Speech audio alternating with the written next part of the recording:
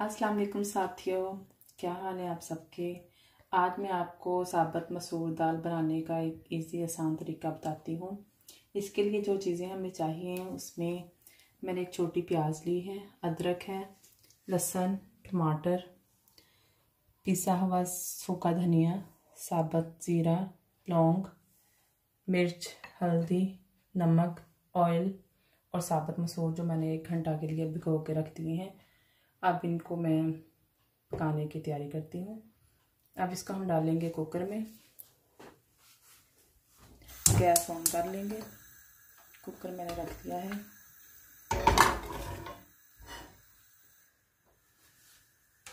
अब इसमें हम ये दाल डाल देंगे।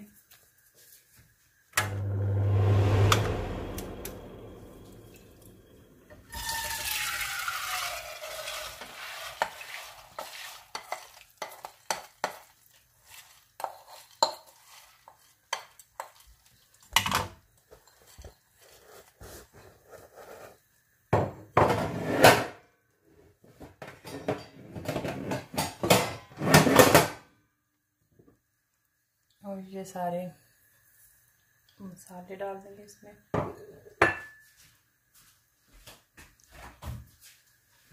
दो कप पानी जो मैंने बॉईल किया इसमें डाल देंगे।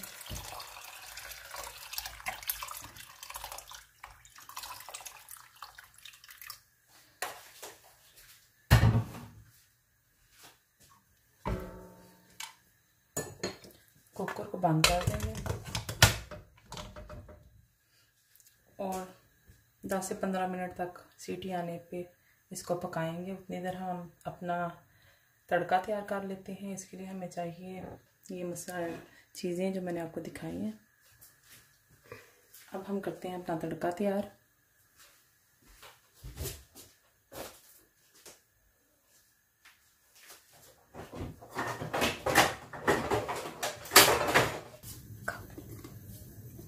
अब मैंने एक फ्राई पैन चूल्हे पर रख लिया है, इसमें हम डालूँगी ऑयल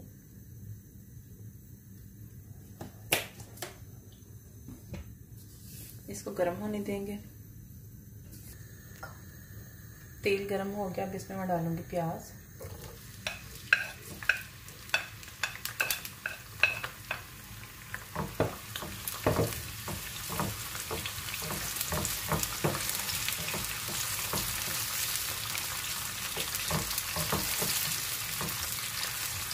इसको थोड़ा सा सुनहरा होने देंगे।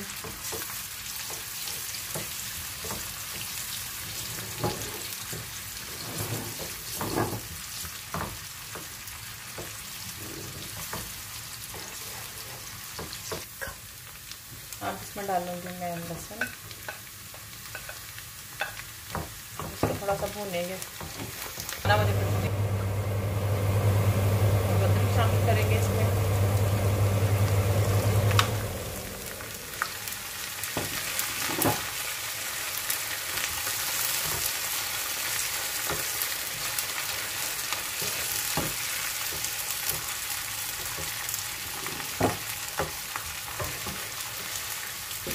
अदरक को थोड़ा सा भूनने के बाद अब इसमें नट मार के मिला दूँगी।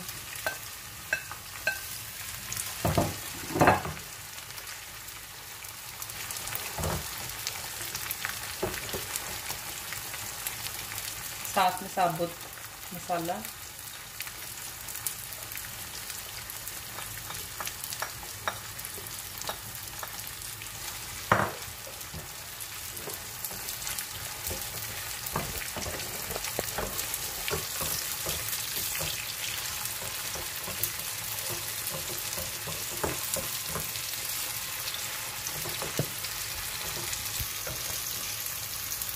ये हमारा तड़का तैयार हो गया। अब दाल पक जाएगी तो इसमें हम तड़का शामिल करेंगे। पंद्रह से बीस मिनट हो चुके हैं हमारी दाल का। मैं खोल के कुकर को देखती हूँ। जी, बिल्कुल।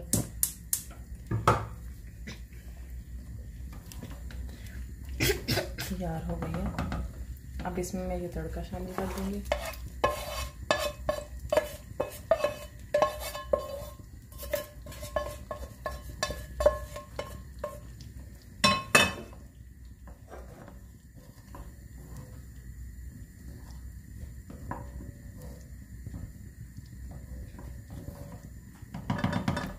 सूखा धनिया डाल दूँगी।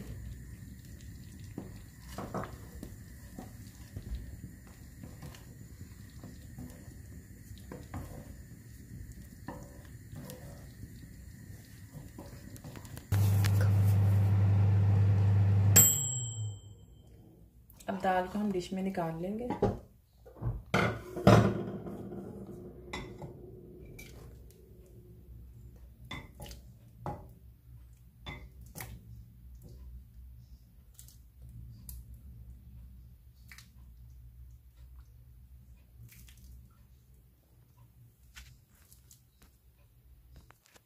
ये दाल बन के तैयार है, आप आशर को मैं दूँगी, खा के बताएगा कि कैसी बनी है।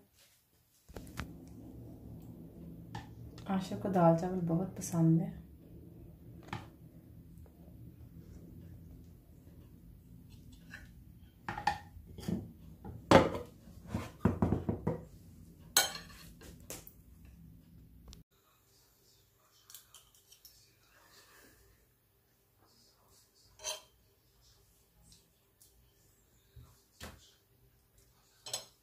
आशा बताएँ कैसे बने हैं?